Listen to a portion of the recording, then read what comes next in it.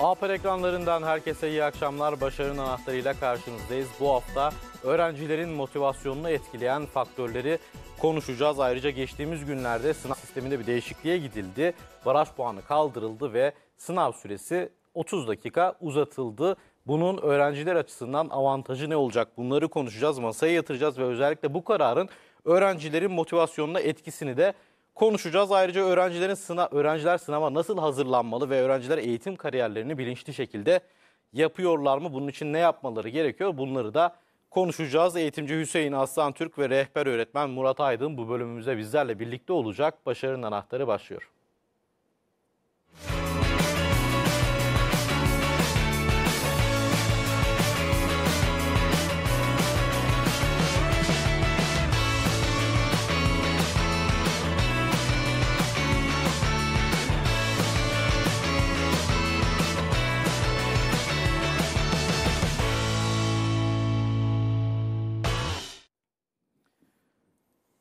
Hocam hoş geldiniz ikiniz de. Hoş gördük. Murat hocam sizle başlamak isterim. Şimdi az önce de söyledim e, sınav sisteminde değişikliğe gidilmişti. Geçtiğimiz e, hafta baraj puanı kaldırıldı. Sınav süresinde uzatıldı 30 dakika.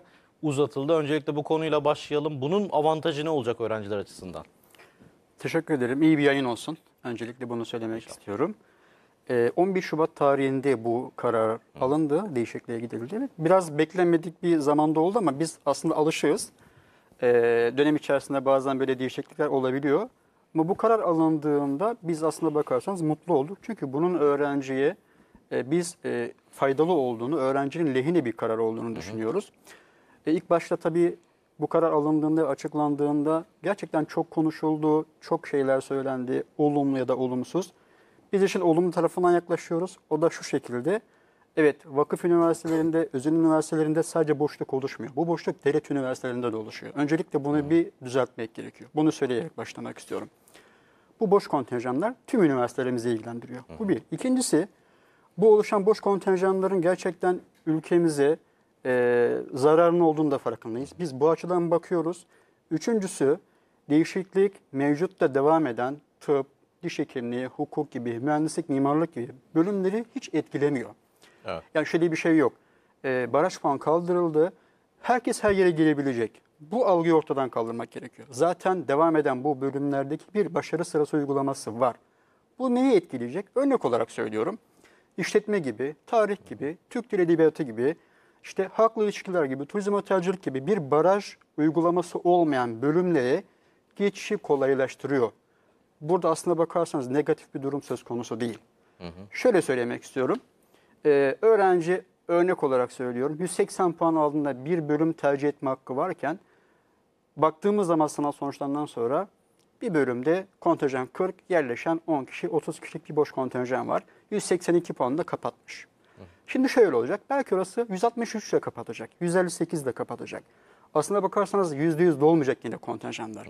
Ama daha fazla öğrenci sınav, sınavla beraber üniversiteye yerleşmiş olacak. Daha çok kişi olacak. Daha aslında. çok kişi üniversiteye yerleşmiş olacak. Şunu da söylemek istiyorum. Ee, biz her yıl üniversiteye giren aday sayılarıyla alakalı da konuşuyoruz. Bunu da söylemek istiyorum yere geldiğinde. Evet bu yıl hiç sınava girmeyi düşünmeyen adaylar sınava girmeye karar verdi. Biz de duyuyoruz hem sosyal medyadan hem de bir araya geldiğimizde. Ben de girmeyi düşünüyorum diyor. Tabii girebilirsin diyoruz. Diyor ki her şey kaldırılmış diyor. Herkes üniversiteye girebilecekmiş diyor. Böyle bir şey yok. Ama tabii ki daha çok aday sınava başvuru yapacak. Şu ana kadar ki bu rakam şimdiye kadarken büyük rakam olacak. Ama sınava giren aday sayısı biraz daha azalacak. Tercih yapan aday sayısı biraz daha azalacak. Kayıt yapan aday sayısı da azalacak. Aslına bakarsanız gerçek rakam yine en sonunda bir önceki yıllara yakın olacak. Ama totalde tabii ki daha fazla aday üniversiteye yerleşmiş olacak. Ama yakın olacak diyorsunuz. Evet yakın olacak. Çok büyük fark olacağını düşünmüyorum. Ee, öğrencilerin lehine bir karar, üniversitelerin çok lehine bir karar, ülkemiz için olumlu bir karar. Şuna da çok katılmıyorum. Onu da söylemek istiyorum. Ee, çok bu karar doğru değil. Bu karar alındı ama aslında bu kararla birlikte iyi şeyler yapılmadı. Bu karar alınmamalıydı deniyor ama bu barajın aslında bakarsanız çok fazla bir anlamı yoktu zaten. Çünkü bu baraj e, çok fazla bir öğrenci ve üniversitenin lehine bir şey değildi. Kaldırılması daha çok adayın üniversiteye girmesine, daha çok üniversitenin öğrenci almasına fayda sağlayacak. Evet. Oran olarak baktığımızda kaç kişi o barajın altında kalıyordu? Yani zaten ş- çok az bir kısım. Şö- şöyle söyleyelim. 2,5 milyon civarında aday her yıl üniversite sınavına giriyor. Ortalama olarak söylüyorum. Bunun 1 milyonu zaten ortalama barajın altında kalıyor, tercih yapamıyor. Ya da tercih e, yapmıyor puanı çok düşük olduğu için.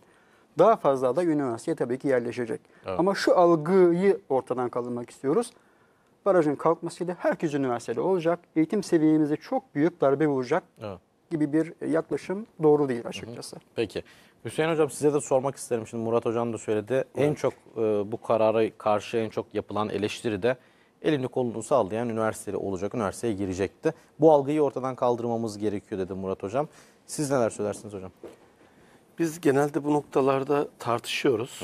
Öğrencilerden de aslında geri dönütlere bakıyoruz. Hani bu sahayı e, çok ciddi anlamda öğrencilerle buluştuğumuz için e, biraz daha tespit etme imkanımız oluyor.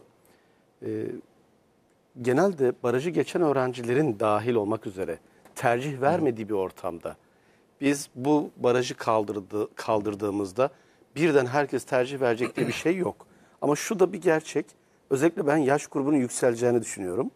Sınava başvuruda. Hocamla konuşuyoruz herhalde tüm zamanların rekor başvurusu olacak. Ee, ciddi anlamda, sayı anlamında.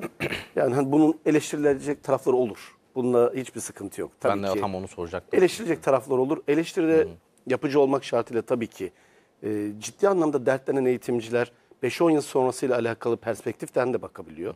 Bu noktalarda da sıkıntı yok ama önce biz zamanlamasıyla alakalı eleştirimizi yaptık. Ondan sonra öğrenciye ne faydası var bunun? Ya 170 ile tercih yapamayan ama lisans okumak isteyen öğrenciler olabiliyor. Ve üniversitede kendini geliştirebilen insanlar olabiliyor. E bu noktadan da onları da bir hak kazanması neden olumsuz olsun? Evet. Peki. e, şimdi bir anda kestiniz ben devam edeceksiniz diye Bilerek. biraz daha detaylandırırsınız diye bekledim Yok ama. burayı çok açmak istemiyorum. Şöyle e, Evet. bir şey olduktan sonra öğrencinin gerçekten hemen e, motivasyonu düşünmek zorundayız. Evet. Ailenin bakışını düşünmek zorundayız. Ya bu tarafta çok tartıştığımızda ya bunun yeri burası değil diye düşünüyorum. Ne yapabiliriz? Biz başarının anahtarı diyoruz. Öğrencinin kariyeri diyoruz, motivasyonu diyoruz. E, sistemsel eleştirileri yapacağımız yetkililere biz zaten düşüncelerimizi de gerçekten ulaşabildiğimiz hemen her yetkili de e, iletiyoruz da. E, yeri başka bir şey ama bizi dinleyen aileler oluyor, öğrenciler oluyor. Enerjilerini, direnç noktalarını düşürmektense var olan bir noktada ve kontrolümüzde olmayan bir durumda nasıl güzel hamleler yapabiliriz? Evet. Kalan 4 ayı, var olan 4 ay aslında biz kalma da demiyoruz. Sınava hazırlanan öğrencinin 4 ayını daha etkili, daha verimli nasıl değerlendirebilir ona bakıyoruz. Ki- bir şey ekleyeyim Evet, ama burada. iki değişiklikten bahsettiniz. Ben de aslında onu soracaktım. Süresi de uzatıldı tabii. Söyleyelim. Aslında burayla Herhalde alakalı o daha önemli bir ya gelişme. şöyle şu çok önemli. Bu artı 30 dakika aslında 2020 yılında verildi. Kimse bahsetmiyor. 2020 yılında pandemide artı 30 dakika verildi ve öğrencilerin pek çoğu şunu söyledi. Hocam yine yetiştiremedik. Şimdi TET aslında gerçekten bir süreyi kullanma sınavı ve bir sıralama sınavı. Şimdi 200 dakika verin, 200 dakikanın tamamını kullanmak ister öğrenci. Bu açıdan aslında sesimizin ulaştığı her öğrencimizin, adayımızın sanki 135 dakika var. Bana verilen artı 30 dakikayı yetiştirmede zorlandığım yerleri güzel kullanma noktasından bir imkanı çevirebilir miyim? Ben yine 135 dakika yapayım, 140 dakika yapayım- yapayım. Kalan 20-25 dakika benim biraz daha ilerlememi sağlayacak noktadan hareket etmeliyiz. Hani proje ödevleri, dönem ödevleri 4 ay önce verilir. Ama ne hikmetse son güne sıkıştırırız. Evet. Ne kadar uzun zaman verilirse verilsin sıkıştırırız. Bu süre de öyle. Ve orada bir eleştiri daha var. Şöyle artı 30 dakika verildi o zaman çok zor olacakmış sınav diye. İnanılmaz uzun olacakmış diye de bir e, Paragraf söz soruları daha uzun Tabii ki. olacak. Ya son 4 yıldır TYT başladığından beri şunu söyleyebiliriz aslında. Ee, ÖSYM şunu istiyor YÖK'ün de noktasında. Türkçeyi kullanma gücünü, yorumlamayı, paragrafı değerlendiriyor. Hatta bu sınavın e, ilk düşünüldüğünde sadece dil yani Türkçe ve matematikti. Fen ve sosyal 9 Kasım 2018'de eklendi. Normalde bayağı bir eleştiri de gelmişti o dönemde. Biz aslında bu sistemsel tartışmaları çok sık yapıyoruz. Şu noktaya getireceğim. Araştırmalar var. 2020 yılında da aynı şey oldu. Demek ki süre verdiklerine göre çok uzun olacak, çok zor olacak. Ama 2019'a göre öğrencilerin ortalamaları arttı. Hani çok zor olacak deyip şimdiden de öyle söylüyorlar. Sosyal medyada öyle bir işte fenomen denen tırnak içinde değerli kardeşlerimiz, arkadaşlarımız da çok zor olacak sorular diyor. Kimse bilmiyor ki soruların zor olup olmayacağını. Evet ama, artmış ortalamaları da süre ki. arttıktan sonra ortalamaları da artmış. Yani şöyle bir güzel bir skala var. İlk 5000'de, ilk 10.000'de, 30.000'de, 70.000'de, 80.000'de baktığımızda 2019'a göre netler daha yüksek. Bu açıdan arkadaşlarımız böyle e, kendilerini karamsarlığa itmesinler. O söylemleri de çok daha Ama e, süreyi de şöyle yapmasınlar. Yü- Nasılsa 160 dakika oldu, nasılsa rahat yetiştiririz. Bu yanılgıdır. çok da rahat Buraya girmeyecek. Biraz daha dengeli olsunlar. Burada ama hemen şey de söyleyelim, Evet. göstermek istiyorum. Şöyle kapatarak. Hemen yayın evlerimizde 165 dakikaya bu noktada çok çabuk uyum sağladı. Deneme ç- testi. Çok hızlıyız. Evet. Yani bu noktada da başarılıyız. Çünkü öğrencilere bu noktada e, destek olmak isteyen kurumlar, kuruluşlar da e, bu hafta da yaptılar zaten sınavların 165 dakika. E, pandemi döneminde o iki, artı 30 dakika verildiğinde o kadar süre yoktu. Yani bir ay, bir buçuk ay kala yapıldı. Çok deneyimleyememişlerdi. Ama şimdi öğrenciler bu dört ayda bu süreyi deneyimleyecekler. Peki Murat Hocam size sorayım o zaman. Şimdi e, öğrenciler deneme e, testlerinde artık bir 30 dakika daha bir ilave oldu. Öğrencilerin e, geri dönüşleri nasıl oldu? Ben bir önceki konuya da bir iki cümle söyleyerek Buyurun. devam ed- etmek Buyurun. istiyorum mü- müsaadenizle. Şimdi baraj puanlarını konuştuk ya mesela orada e, hep böyle bazı bölümleri konuşuyoruz ama örnek veriyorum. Özel yetenek sınavıyla hazırlanan öğrenciler var. Bu öğrencilerimiz gerçekten e, o ilgili oldukları branşlarda çok iyiler ama baraja takılıyorlardı. İşte resim gibi, e, işte tiyatro gibi, heykel gibi, müzik gibi bu bölümlerde de baraj kaldırıldı. Bu bazen bunu söylemekte unutuyoruz. Bunu da söylemek istiyorum. Orada üniversitelerin kendine bırakıldı. Üniversiteler kendileri bir baraj puanı belirleyecek. Bu öğrenciler var olan baraja takılmayacak. Bu çok kıymetli. Bunu da öğrencilerimiz, velilerimiz bilsinler. Bunu söylemek istiyorum. Ee, diğer sorunuza geldiğimizde 4 yıldır aslına bakarsanız sınav hazırlanan herkesin, çok iyi hazırlanan öğrencinin bile ortak derdi e, TYT sınavındaki süreydi. Hocamın bahsettiği gibi e, şu an öğrenciler bununla alakalı aslında bakarsanız mutlu. Bununla alakalı eleştiri yapanlar da bunu eleştirmiyor aslında bakarsanız. Bu herkesin beklediği bir şeydi. Çünkü bu sınav tüm öğrencilerde, iyi hazırlanan öğrencilerde bile sınav öncesinde bir gerginlik yaratıyordu. Hem sınavın zorluğu, hem sürenin sınırlı olması, hem de tüm adayların girmiş olduğu ortak sınav olmasından kaynaklı bu sınavın tırnak içinde çok zor olduğu zaten öncesinde hep e, aklımızda oluyordu. Bu verilen süre artı 30 dakika herkes için iyi olacaktır. Ama hocamın dediği gibi nasıl olsa 30 dakika verildi deyip de biraz gevşek davranmaktansa bu süreyi kıymetli kıymetli olan bu süreyi iyi değerlendirmek gerekiyor. Evet. Sürenin artması aynı zamanda soruların da zor olması anlamına gelmiyor. Zaten sorular yani zor kelimesi de hoş değildi. Yani derdimizi anlatmak için söylüyoruz. Zaten ne kadar zor olabilir ki? Gerçekten o zaman yani- zor soruluyordu. O zaman sürenin kısalması da sınavın kolaylaşacağı anlamına mı gelir? Şöyle Yani sürenin o mantıkla hareket edecek olursak. Hayır şöyle. Süre uzadı. Aslına bakarsan şöyle bir şey olacak. Test ortalamaları 1-2 net artacaktır. Söylemek istediği ben şöyle eklemek istiyorum. Bazı öğrenciler bazı sorulara bakamıyordu. Öze- örnek verelim. Sayısal öğrenci sosyalin yarısını göremiyordu. Ama şimdi görme ihtimali belirdi. Aynen. Ya da eşit ağırlık öğrenci hiç fen yapmıyordu. Ya ben en azından bir 4-5 tane bakayım diyor.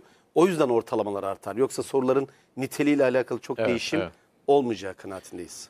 Evet peki şimdi yani tabii sınavda başarılı olmak için de motivasyon çok çok çok çok önemli. Motivasyon kelimesini biz aslında e, günlük hayatta da çok sık duyuyoruz. İş hayatında da çok duyuyoruz. Öğrencilerden de çok duyuyoruz.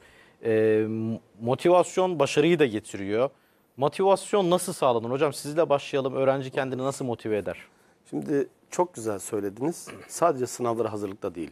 Hepimizi, anne, baba, aile, her çalışanı ilgilendiren bir şey. Bize en çok sorulan nokta hocam motivasyonumu sürekli kılamıyorum, sürekli tutamıyorum diye. Motivasyon sürekli tutulacak bir şey değildir. Motivasyon sürdürülebilir olmalıdır. Her an aynı istikamette, aynı düzlemde, aynı aşkla şevkle gidemeyiz hiçbirimiz. Ama ne olur? Bazen burada kısa molalar vermeyi başarabiliriz. Şimdi motivasyonun TDK'deki karşılığı güdülenme. Bir şey yapmak için harekete geçmek demek. Biz ama ne, ne oluyor bazen? Hocam harekete geçme isteği gelmiyor. Zaten genelde istek gelmez. Yani hangi birimiz şöyle diyebiliriz? Allah'ım bugün hayatımın en güzel günlerinden birini yaşıyorum. 9-10 saat ders çalıştım. Muhteşem hissediyorum demez yani. Çok sağlıklı biri de olmayabilir ama yapması saygıya değer. Evet. Çünkü günümüz biraz daha farklı oldu. İnternet ortamındaki dizilerde bile introyu atlayan bir nesil. Ee, izlediği Öyle videoyu seçenek var zaten. bir buçuk kat hızda izleyen, dersi bile orada her şeyi hızlı yaşayan ve anında keyif verdiği işi yapmak isteyen bir e, aslında hepimiz sadece bir nesil değil. Böyle bir ortamda hemen keyif vermeyen ve hemen de sonuç alamadığımız bir durumda ve bunu yaklaşık bir buçuk iki yıl sürekli bir şekilde tempolu bir şekilde yapabilmek zaten zor. O yüzden bu duruma çaba gösteren ve deneyimlemeye çalışan öğrenciye saygı göstermek lazım. Burada hatırlatması lazım öğrencinin. Ben niçin ders çalışıyorum? Yani bu motivasyon sürdürülebilir olması gerekiyor Evet. dediniz ya. Bu nasıl e, ne yapması gerekiyor öğrencinin? İstek ve ilham beklemeyecek bir. Evet. Niçin hatırlatacak. Üç, alarm kuracak. Bazen olur ya başlayamıyor bir türlü. Çünkü istek bekliyor. Bir Ama pil- ertelemeyecek. İşte ertelemek zaten bence en büyük hastalık. Evet. Her alanda. Hepimizle de alakalı. Ee, alarm kurduğunda ben 20 dakika hoşuma giden bir müzik dinleyeceğim, bir şey yapacağım ama alarm çaldığında o dersin başına oturacağım. Sonra da biraz direnç ve enerji nokta dediğimiz sabır gösterecek. Kolay değil. O yüzden de bir niçin hatırlatacak. Ee, kendisine bunu söylemesi lazım. Ben şöyle diyorum. Gayesi olanın gayreti olur. Ben niçin sınava hazırlanmalıyım? Şimdi bunu sorduktan sonra nasılına katlanma da başlıyor. İki, devam ediyorum. E, hayatınızın kalitesini hayatınızdaki insanların kalitesi belirler. Kimlerle berabersiniz? İki, üç tane e, birbirinizi yüreklendirecek arkadaşa sahip misiniz? İyi arkadaşa sahip misiniz? Hadi ya ortak bir deneme kitabı alalım. Yanlışlarımızı birbirimize soralım. Kolay bir şey değil bu. E, sonra yazdıklarını, yaptıklarını yazmaları. Güzel bir şeydir tik atmak. O çok keyifli. Hele yeni nesil bu konuda efsane. O fosforlu kalemi alıyorlar. Hani biz yani sizin biraz jenerasyon yeni ama ben Murat hocamla ilgili söyleyeyim. Biz artı eksi atardık. Şimdiki kuşak o kadar güzel tik atıyor ki sayfaya tik atıyor neredeyse. Niye? Yaptığı bir işin karşılığını görmek insana enerji verir, kanatlandırır. Bu açıdan düştüğünde mola vermeyi bilmek, iyi arkadaşıyla beraber sohbet etmek, ailesiyle beraber e, aslında oraya da gireriz ama ben sözü hocama bırakacağım. E, ya motivasyonu e, bu noktada evet ben istek ve ilham gelmese de çabalamaya değer mi benim hayatım? Kendimi nerede görüyorum? E, bu günlerim geçecek. Gelecekteki benle alakalı konuşmamda ben 5 yıl sonraki e, Hüseyin'e, Murat'a teşekkür eder miyim? Ya iyi ki bu dönemde 4 ay vardı tekrar ayağa kalktın. Evet. Tekrar devam ettin der miyim? Peki. Şimdi Murat Hocam aynı soruyu size de sormak isterim. Öğrenci motivasyonu nasıl sağlar? Şimdi Hüseyin Hocam söyledi. Önce bir amacı olması gerekiyor dedi ve nasılına amacı olduktan sonra nasılına zaten her türlü katlanır dedi. Aslında bir disiplinden bahsetti.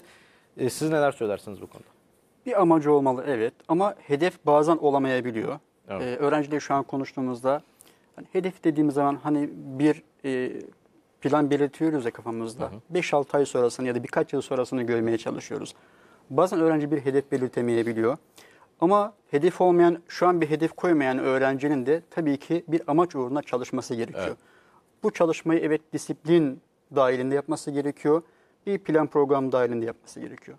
Biz plan deyince hep şu, şunu kastediyoruz. Bizim kastettiğimiz plan böyle mekanik olarak belli saatler arasında ve her gün planlı bir şekilde dersleri koyarak yapılan plandan bahsetmiyoruz. Biz şunu savunuyoruz. Bazen bugün örnek olarak söylüyorum. Öğrencinin of günü olabilir. O gün çok sevdiği, kendisine enerji veren bir şey de yapıyor olabilir. O onu motive edecektir bir gün sonrası için. Üniversite hazırlıktaki öğrencinin her gün ders çalışması gerekiyor. Her boş zamanda mutlaka bir şey yapması gerekiyor olarak bakmıyoruz. Gününü planlaması, haftasını planlaması gerektiğini düşünüyoruz. Eğer öğrenci bir amaç uğruna bu çalışmayı yaparsa, gerçekten planlayabilirse, dışarıdaki yoracılara birazcık kulaklarını kapatabilirse, doğru insanlarla çalışma yaparsa, doğru insanların fikir alırsa zaten bu süreci çok güzel yönetecektir ve e, 4 ay sonra, 5 ay sonra hedefine ulaşacaktır diye düşünüyorum. Ama burada motivasyon dediğimiz şey, evet insanın birazcık da içinde hissettiği, kendisini e, ateşleyebildiği, bir amaç uğruna çalışabildiği ve buna katkı sağlayan bir duygu. Ama burada kastettiğim şey sadece bir bölüm için ya da e, bir saatle bir e, mekanik bir programla çalışmaktan ziyade o öğrencinin kendisine 4 ay sonra, 5 ay sonra, 1 yıl sonra nerede gördüğüyle alakalı bir şey. Evet. Peki yani şimdi konsantrasyon da çok önemli aslında. Yani motivasyon, konsantrasyon bunlar ikisi birbirini tamamlayan e, kavramlar diyebiliriz belki de. Pandemide nasıl geçirdi öğrenciler ve öğretmenler? Çünkü bir motivasyon düşüklüğü illaki olmuştur pandemide. E, konsantrasyonu sağlamakta da zorluk çekmiş olabilirler. Çünkü online e, dersler vardı. Online derslerde fiziki derslerdeki kadar konsantrasyonu sağlamak e, kolay mı? Fiziki derslerde olduğu kadar. E, pandemiyi e, nasıl pandemide bunu nasıl e, sağladılar? Yani nasıl etkiledi öğretmen ve öğrencileri? Şöyle söyleyelim. Çok hızlı bir anda karar alındı. Yanlış hatırlamıyorsam 10 Mart ya da 11 Mart gibi yanlış söylüyor olabilirim. Bu tarihlerde online eğitime geçildi. Evet. Uzaktan eğitime geçildi. Ve hemen bir sonraki pazartesi günden itibaren kurumlar hızlı bir şekilde bununla alakalı çalışmalar yapmaya başladı. Altyapı çalışması yapıldı. Programlar, ders programları online'a çevrildi. Öğrencilere bilgi verildi, öğretmenlere bilgi verildi. Aslına bakarsanız çok hızlı bir şekilde uyum sağladık. Ya çok zorlamadık bu anlamda. Hem Milli Eğitim Bakanlığı bununla ilgili çok ciddi çalışma yaptı. Hem özel kurumlar bununla ilgili çalışma yaptı. İlk başta şunu evet gördük. Biz hatta o dönemde çok e, şehirde online seminerler yaptık. Öğretmenlerimizin branş dersleri yaptığı gibi. İlk başta aslında bakarsanız öğrenciler evet şunu söylediler. Ya hocam hani tabii birlikte olmak, bir arada olmak çok daha keyifli. Yüzlerin yerini hiçbir şekilde tutmayacak. Bunu tüm dünya gördü zaten. Ama online'da da şu oldu. Öğrenciler öğretmenlerine bu öğretmenler için tırnak içinde çok e, olumlu olmasa da her saat ulaşabildiler. Akşam onda sorusunu attı. Evet. Çünkü online bir dünya yaşadık o zaman. Online bir hayat yaşadık. Öğrencisi öğretmenine sorusunu attı, cevabını aldı. Bir gün sonra dersine devam etti. Eğer dersine devam edemediyse hemen öğretmeninin onunla ilgili hazırlamış olduğu videoyu izledi. Biz online'a da uyum sağladık aslına bakarsanız. Ama tabii ki tercihimiz ve en etkili öğrenme yöntemi bir arada olmak ve yüz yüze olmak. Online e, bir buçuk yıl kadar devam etti online eğitim. Ama tabii ki online bittikten sonra da yüz yüze eğitime yine aynı şekilde hızlı bir şekilde uyumu sağladık. Ama tabii ki e, bir daha online olmamasını tercih ediyoruz. Ülke ülkemiz bu anlamda yüz yüze kararı aldı Milli Eğitim Bakanlığı E, ve her şeye rağmen şu anda da devam ediyor. Devam Umarım ediyor, devam da eskiye diye görünüyor. Evet, yani şu anda bakanlığın almış olduğu karar hiçbir şekilde e, en daha doğrusu alacağımız en son karar okulların uzaktan eğitime dönmesi. Bu karar alındığı için hem öğrenci hem öğretmen hem de veliler total olarak baktığımızda daha mutlu oldu bu karara. Peki Hüseyin Hocam şimdi siz az önce bir amacı olması gerekiyor dediniz, nasılına katlanır dediniz ve bir disiplinden bahsettiniz. Yani dediniz ki o alarm çaldığında o dersin başında olması gerekiyor dediniz. Yani bir kendisinin bir disiplin oluşturması gerekiyor ama kendisinin disi- oluşturduğu disiplin kadar okulun sağlamış olduğu disiplin de çok önemli. Ama pandemide bu olmadı. Yani online eğitimde de evet bir disiplin belki olabilir ama sonuçta bir okulun içerisinde değil.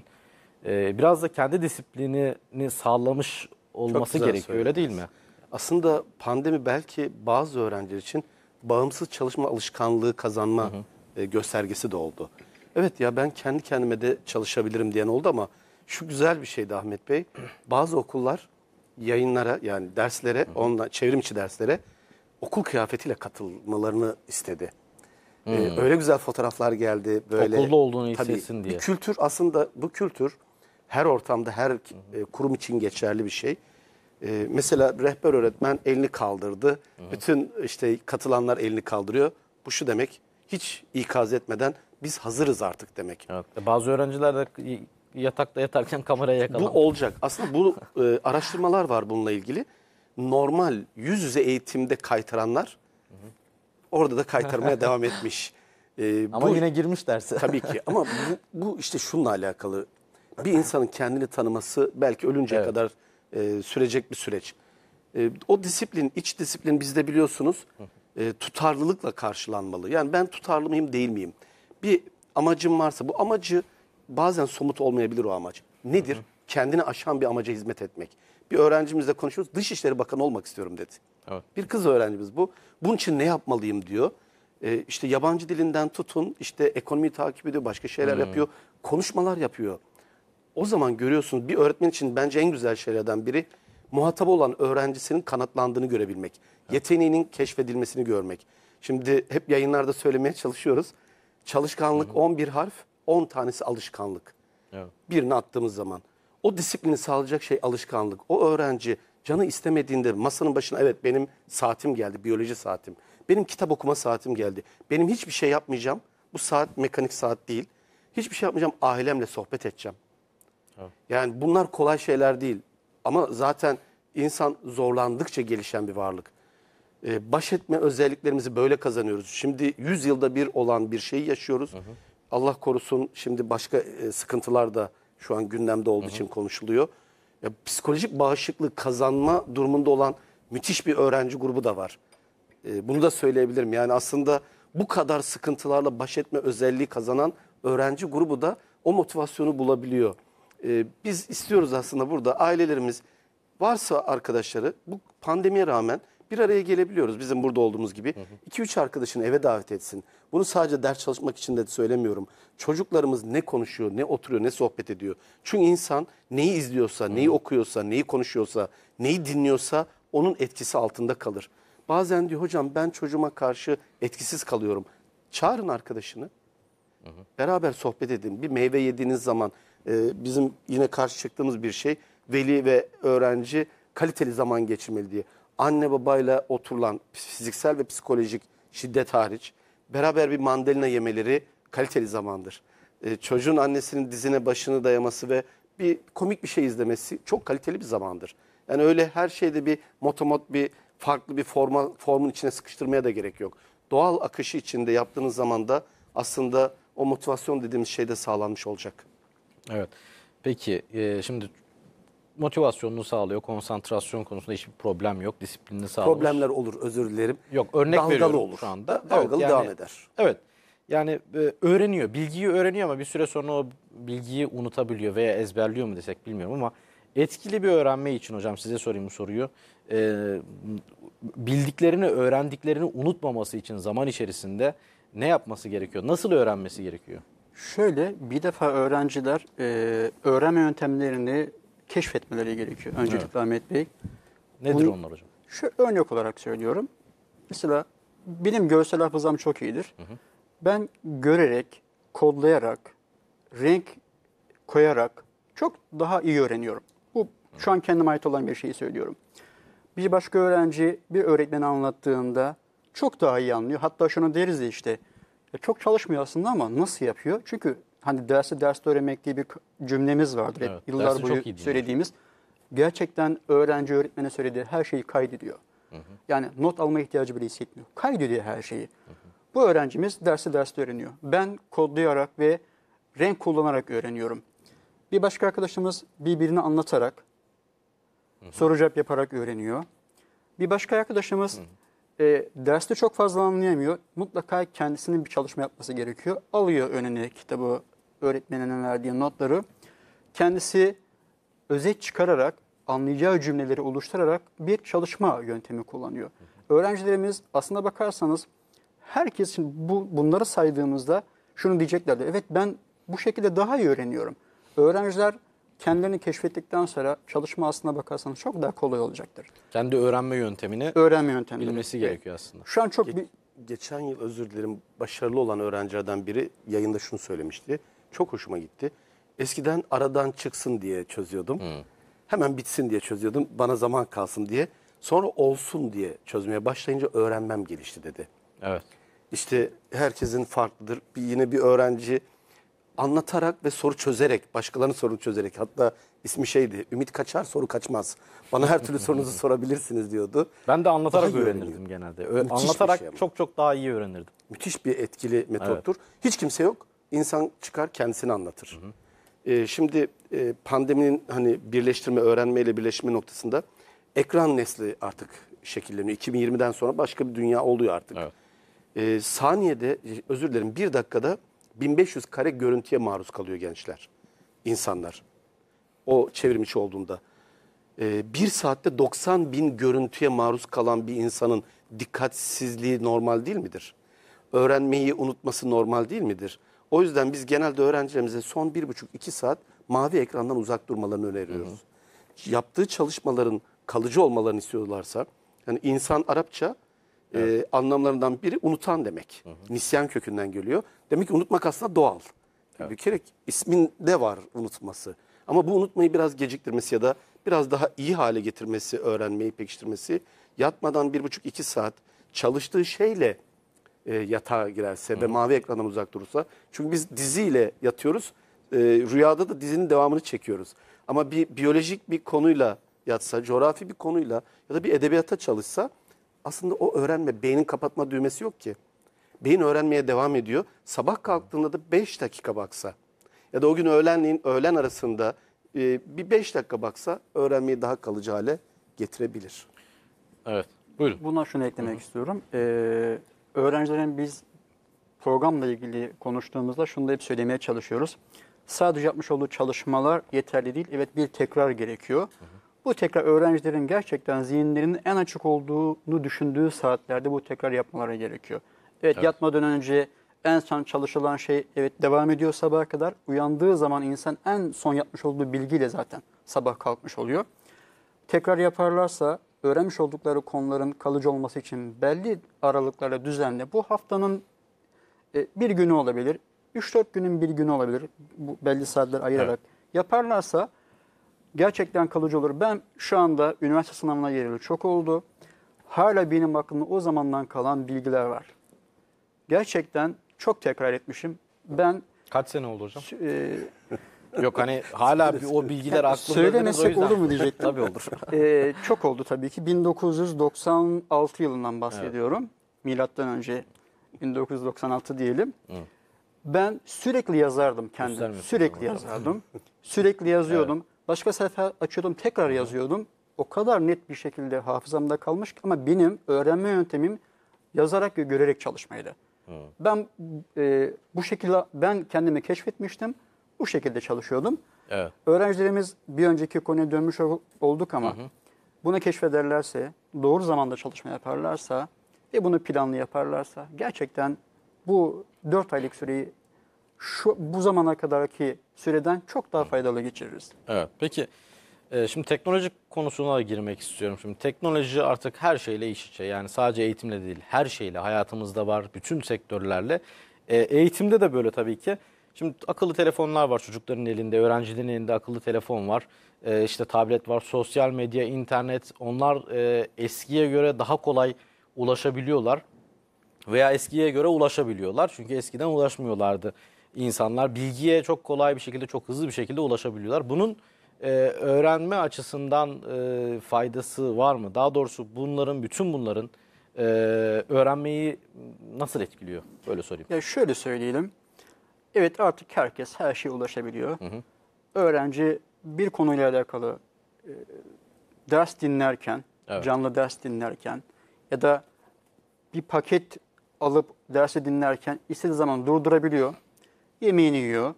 Sonra devam giderip ediyor. Devam ediyor. Eskiden yoktu tabii bu. Kesinlikle Şimdi yoktu. avantajı da var, dezavantajları da var. Önceden hatta hatırlarsanız etüt diye bir kavram da yoktu. Dersi anladık, dinledik, bitti. Onun dışında ek ders, etüt, bireysel çalışma bu kavramlar yoktu. Şimdi hepsi var. Bir de üzerine internet üzerinden her şeyi öğrenebiliyoruz. Evet. Ama öğrencilerin burada e, yaptıkları hata şu diye düşünüyorum. Gerçekten hani ilk başta sohbete şöyle başladık ya. Hedefi olan, amacı olan, motivasyonu sağlamış olan öğrenci yapmış olduğu dersi evet internet üzerinden dinliyor ama daha sonra öğrenci kitabından, dergisinden, defterinden, notlarından ders çalışırken işte o e, sosyal medyayı ya da o her yere ulaşabildiğimiz dünyayı birazcık durdurmak gerekiyor. Biz o yüzden öğrencilerimizin ders çalışırken telefonlarını hani önlerinde değil de e, bizim gibi uçak moduna alarak, hadi ekranı kapatarak ya da bir köşeye bırakarak, daha Evet. uzak bir yere bırakarak gerçekten ciddiye alarak ders çalışmasını öneriyoruz. Ama tabii ki buradan ulaştığımız bilgiler çok önemli, çok kıymetli. Her şeye ulaşabiliyoruz. Ee, hatta online dönemde nasıl oldu? Bir sene önceden şey diyorduk. ee, çok fazla telefonla ilgilenmemek gerekiyor. Düşürmek gerekiyor o saati diyorduk. Online dönemde ne dedik? Tam tersi oldu. Telefonları bırakmayalım. Çünkü artık dersler orada, her şey orada. Şu an biz eğer eğitimde yüz yüze eğitime geçip normal bir sürece girdiysek bence bunu birazcık çalıştığımız süreler içerisinde kenara koymamız gerekiyor. Faydası çok, her şeye ulaşabiliyoruz ama çalıştığımız dönemlerde e, birazcık virgül koyup kenara koymakta fayda var diye Veya düşünüyorum. anlayamadığı bir şey olunca uçak modundan çıkarıp tam bir şeye bakacakken o oradan başka bir bildirim geldi. Sonra dikkat dağıldı tabii. Ama arka arkaya geldiği için şöyle Evet. şimdi biz bile bazen e, elimize aldığımızda herhangi bir şeye bakacağız. Daha sonrasında farklı şeyler oluyor. Ben bazen elime alıyorum bir şeye bakmak için ama başka yerlere Bir bakmış bakmışız oluyorum. kaç dakika boyunca bak, Evet. biz niye buraya geldik oluyor. diyoruz. Başka şeylerin peşine gitmeye başlıyoruz. O yüzden e, bizim için de geçerli tabii ki bu. E, doğru kullanmak, yerinde kullanmak, sınırlı kullanmak, gerçekten faydamıza kullanmak çok daha iyi olacak. Evet, peki Hüseyin Hocam siz bu konuda neler söylersiniz? Ee, avantajı nedir teknolojinin öğrencilerin öğrenmesi üzerinde e, ve dezavantajları nedir? Aslında bunların hepsi bir yönetmeyi gerektiriyor. Yani bir şeyle karşılaştığınızda yönetip yönetmemenizle alakalı. O yüzden bazen öğrencilerle muhabbet ettiğimizde e, serbest zaman koyuyoruz. Serbest zaman olduğu zaman orada telefon serbest, orada bilgiye ulaşım serbest, bildirimler açık. Serbest zamanı var öğrencinin kendisini programladığında. Ama kural koyduğunda evet benim şu an iki etüdüm var ve bu iki etüdümde bilgi için sadece benim bir şeyler yapmam lazım teknoloji olmadan. İşte o zaman yönetme kavramı ortaya çıkıyor. Rahmetli Doğan Cüceloğlu'nun çok hoşuma giden bir cümlesi var. Geçen hafta vefat yıl dönümüydü. Evet. Bir insanın kendisini keşfetmesi en büyük başarıdır diyor.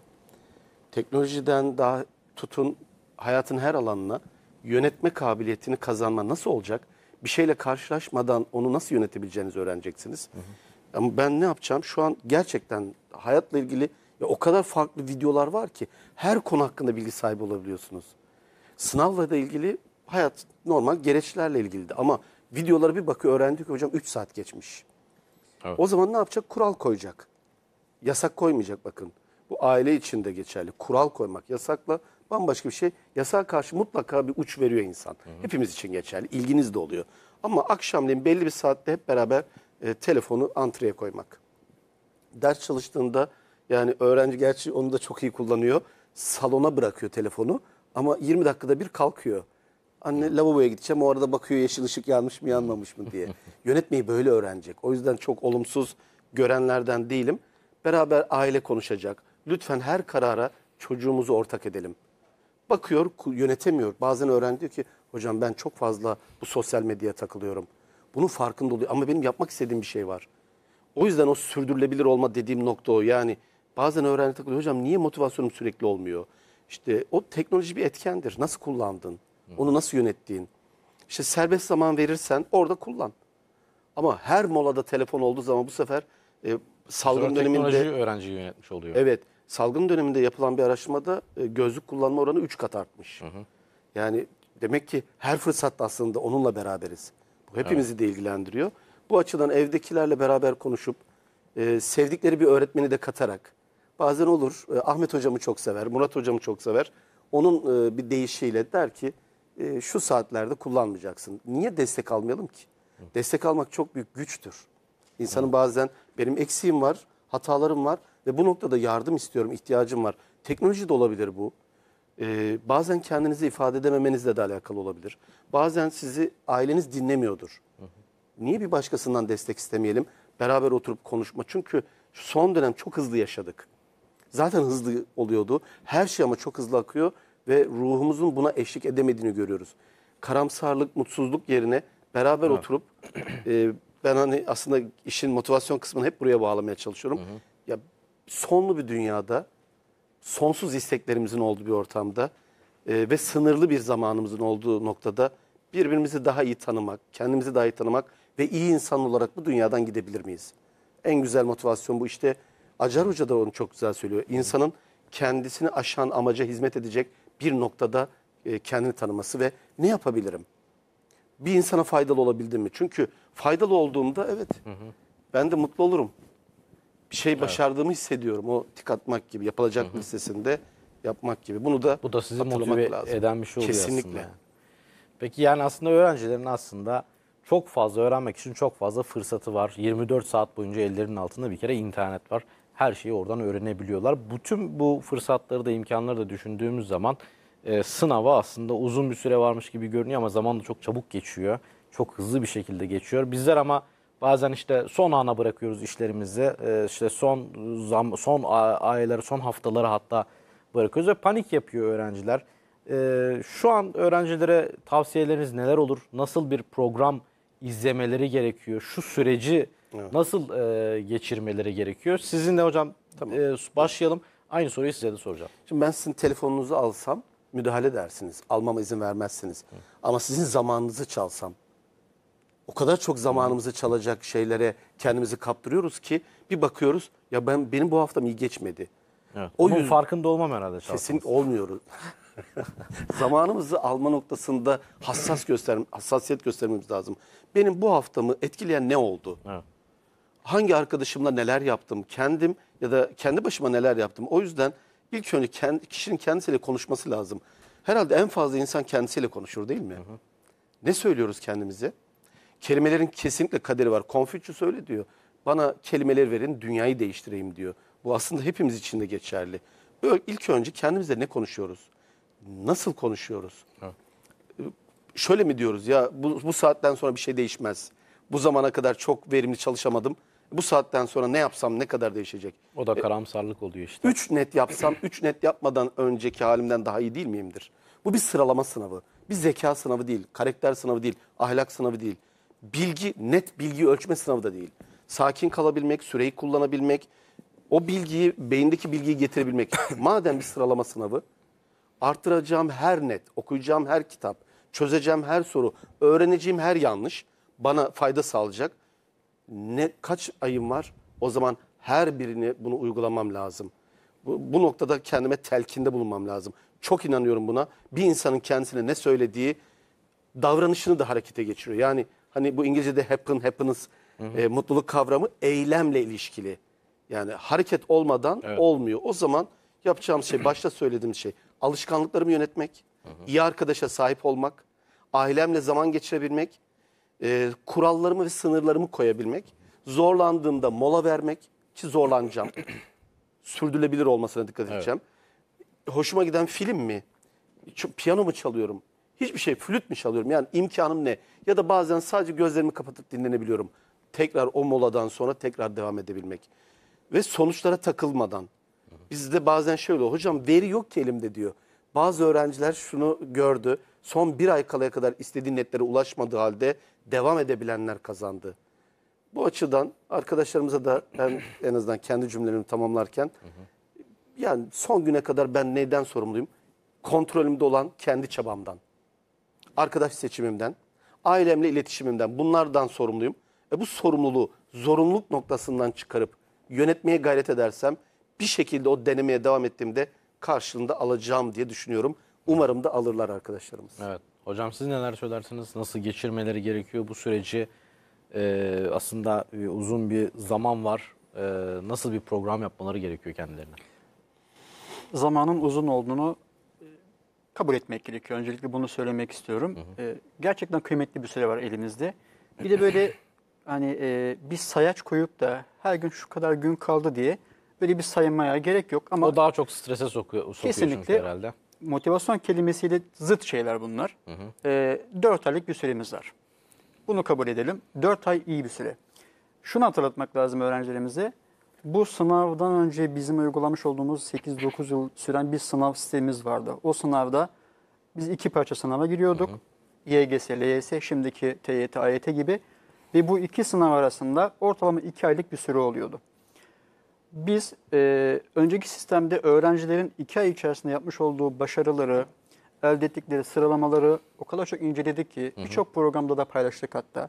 İki ay içerisinde öğrencilerin sıralamalarının çok üzerine çıktığını, aslında bakarsanız iki ayda çok şeyin değiştiğini normalde somut göstergeleri var. Evet. Öğrencilerimiz, velilerimiz, öğretmenlerimiz yıllarca bunu gördüler. Biz de işin içindeydik, sahadaydık. 4 aylık süre çok kıymetli. Hatta şöyle söyleyeyim, bugüne kadar e, çok bir şey yapmadığını, boş geçtiğini tabiri caizse düşünen bir öğrencimiz varsa bile 4 aylık süreyi çok iyi değerlendirerek bu yıl diyelim ki istediği yer olmadı. Olabilir çünkü bu bir şeydir. Herkesin bir hedefi olacak. Üniversite hayali olacak, bölüm hayali olacak, sıralama hayali olacak. Arzu ettiği yer olmayacak. Belki tekrar deneyecek. Ama şu 4 aylık sürede elde ettiği veriler onun bir yıl sonra hazırlandığında bile önünde çok büyük bir engeli ortadan kaldırmış olacak. Evet. O yüzden bir süreye takılmadan sadece Haziran ayında sınava gireceğimizi bilerek planlı, programlı, bazen durarak, bazen yorularak, bazen mola vererek ama mümkün olduğu kadar ilerleyerek devam edersek 4 aylık süre sonunda gerçekten iyi ki süreyi iyi değerlendirmişim der bu öğrencimiz. Sürenin az olmadığını, kıymetli olduğunu, çok şey yapılabileceğini söylemek istiyorum. Sürenin az olmadığını bilsinler ama süreyi de her gün şu kadar kaldı, bu kadar gün kaldı, bu kadar ay kaldı, bu kadar hafta kaldı diye saymasınlar. Bir anlamı yok. Şu- Yani bir haftalık Katkısı yok. Kesinlikle yani. Bir haftalık planlama yaparlar, iki haftalık planlama yaparlar, bir aylarını planlarlar. Ee, biraz da böyle geniş olarak bakarlarsa Askerde planlamaya. sayarlar ya hocam bu arada. Onun Evet, gibi. aynen öyle. Ee, Şafak sayar gibi. Evet. 4 aylık süre, 3 aylık süre, bu süre bitecek, sınav gelecek kabul ediyorum.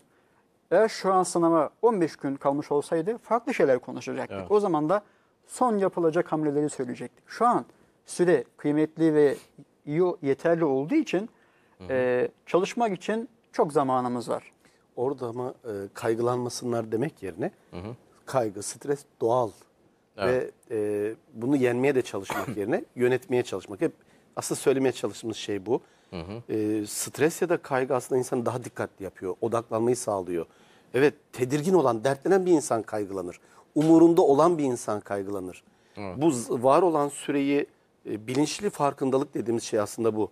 Var olan sürenin farkında Evet heyecan duyuyor. Ya acaba sonuç ne olacak? Bu ister istemez düşünür insan. Ya Ama o heyecan alakalı. yanlışa da götürmez mi hocam? çok şöyle Veya bu- çok katılıyorum.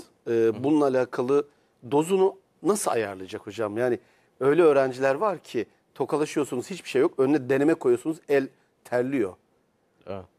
Kalbi çarpıyor ama o öğrencilerin de çok iyi yerlere geldiğini gördüm. O öğrenciler de çok başarılı sonuçlar alabildi.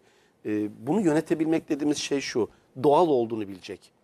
Bunu azaltabilecek şeyler var mı? Kaygıyı yönetme kesinlikle var. Doğru nefes egzersizi, fiziksel aktivite. Bazı öğrenciler diyoruz ki yürüyüş yapın. Hatta bugün bir öğrenci dedik, babası sabah yürüyüş yapıyor. Takıl koluna babanın. Beraber yürü ki anne babayla geçirilen zamanlar o kadar kıymetli ileride insanın psikolojik bağlarını da kuvvetlendiriyor. Doğru nefes egzersizleri ve olumlu telkin. Aslında hep aynı noktaya geliyor değil mi? Evet. İnsanın kendisine ne söylediği.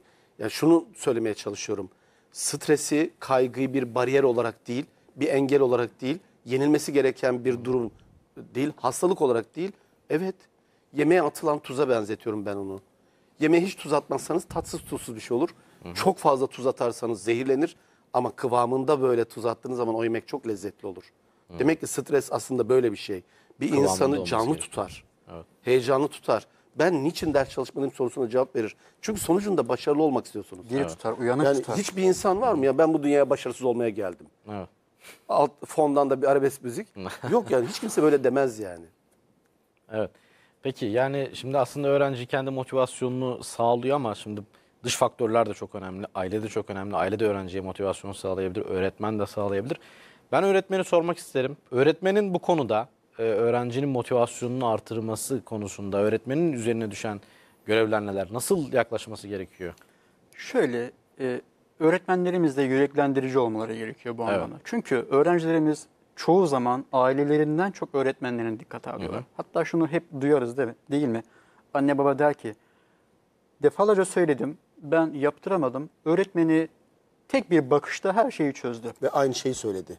Aynı, Aynı cümleyi, cümleyi söylüyor. söyledi, evet. Hatta e, aslında öğretmenin öğrenciyle anne baba gibi çok duygusal bir, daha doğrusu duygusal bağ çok güçlü olmasa bile örnek veriyorum matematik öğretmeni, fizik öğretmeni, Türkçe edebiyatı öğretmeni. Öğrenciyi öğretmenini sevdiği ve dinlediği zaman başarısız olduğu derste bile başarılı olduğunu görüyor. Anlıyor dersi, hem öğretmeni seviyor, dersi seviyor, o dersi sevmesi diğer derslerine etki ediyor. Sevdiği öğretmenin dersine daha çok çalışıyor her zaman öğrenciyi. O Ben de öyleydim. Hatta şunu hep demez miyiz mesela? Örnek veriyorum. Şu an biz bile bir derste başarısız olduğumu söylediğimizde bunu konuştuğumuzda eskilere gide- gider ve deriz ki işte o öğretmenimle çok anlaşamamıştım, iletişim kuramamıştım ya da o dersimiz boş geçmişti. Mutlaka bir somut e, yaşadığımız bir hadise vardır bunu konuştuğumuzda. Öğretmenlerimiz yüreklendirici olmalı. E, ama eleştiri demeyeyim de bir tavsiye olarak şunu söylemek istiyorum. Eğer bir öğretmenimiz örnek veriyorum. Fizik öğretmeni ya da kimya öğretmeni dersiyle alakalı yapacağı, paylaşacağı o kadar çok şey var ki öğretmenlerimiz öğrencilerinin plan programlarından ziyade kendi dersleriyle alakalı eğer paylaşım yaparlarsa, o dersteki başarısıyla alakalı çalışma yaparlarsa çok daha faydalı olur diye düşünüyorum. Öğretmenlerimiz, öğrencilerimizin aileleriyle de eğer iletişim içerisinde olurlarsa, e, karşılaştıkları problemler çok daha hızlı ve büyümeden çözülebiliyor. Evet. Öğretmenlerimize çok iş düşüyor. Onların emeklerine sağlık. Bunu her zaman söylüyoruz. Özellikle bu iki yıllık süreçte Şu muazzam çalışma Şu oldu. salgın döneminde de gerçekten e, mesai kavramı olmadan çok büyük emek harcadılar. Evet. Sabahın erken saatlerinde, gecenin örnek veriyorum, gece 12'de e, kurmuş oldukları grupta öğrenciler öğretmenlerine sorularını sordular. Hatta öğretmenler öğrencisiyle birebir Zoom üzerinden ya da internet üzerinden e, görüntülü görüşerek sorularını çözdüler. Çok kıymetli şeyler oldu. Evet. Öğretmenlerimiz bu anlamda branşlarıyla alakalı çalışma yaparken bir de olumlu telkinde bulunurlarsa Evet. çok daha faydalı olur diye düşünüyorum. Evet hocam siz neler söylersiniz? Son iki dakikaya girdik. Siz de e, Öğretmene ayrı bir paragraf açmak lazım. evet. Hani siz sevdiğimiz öğretmen dediniz. Ben de şöyle görüyorum hep. En çok sevilen öğretmen, en çok seven öğretmen. Ve öğretmen, e, biz de öğretmen Karşılıklı sevgi. Kesinlikle ama şu oluyor. İlk önce sevgisini hissettiğiniz bir öğretmeni bakışlarından anladığınızda, size yaklaşımını, şefkati hissettiğinizde ya başka bir şey oluyor. İlk adımı öğretmen atmalı. tabii. Kesinlikle yani o e, kucağı açma bambaşka bir şey. E, ve öğretmen geleceği inşa eden bir meslek yapıyor. Sadece bir öğrenci değil. Yani aslında Türkiye'nin de geleceğini, belki dünyanın geleceğini. Şimdi geçen hafta Aziz Sancar Ankara'daydı. Evet. Bir, hem kendi okulun isminin olduğu bir fen lisesini açtı. Yani şöyle bir kimya öğretmenim sayesinde dedi. Mardin'de bir kimya öğretmenim dedi. Şimdi aslında dünyada e, böyle özel insanlara baktığınız zaman öğretmenlerin dokunuşunu gördüğünüz insanlar oluyor. 10 tane Aziz Sancar'ımız olsaydı, 100 tane olsa farklı alanlarda yani bir piyano çalan harikulade bir öğrencimiz olur. Başarı sadece bir sınav sonucuyla alakalı bir şey değil. O yüzden biz öğrencilerimize hayat başarısı dilerken sınava hazırlıkta edindiği alışkanlıkları hayatlarına yansıtmalarını istiyoruz. Peki. Mesele bu. O yüzden öğretmenle alakalı bir daha söylemek istiyorum. Öğretmenlerimiz aslında ders anlatırken geleceği inşa ettiğini de e, tekrar böyle hatırlamalı. Peki. Değerli katkılarınız için çok teşekkür ediyoruz. Programımızın sonuna geldik. Biz teşekkür, teşekkür ederiz. ederiz. Evet. Sağ olun. Başarının anahtarını şimdilik sonlandırıyoruz. Bu hafta eğitimci Hüseyin Aslan Türk ve rehber öğretmen Murat Aydın'la birlikteydik. Görüşünceye dek hoşçakalın.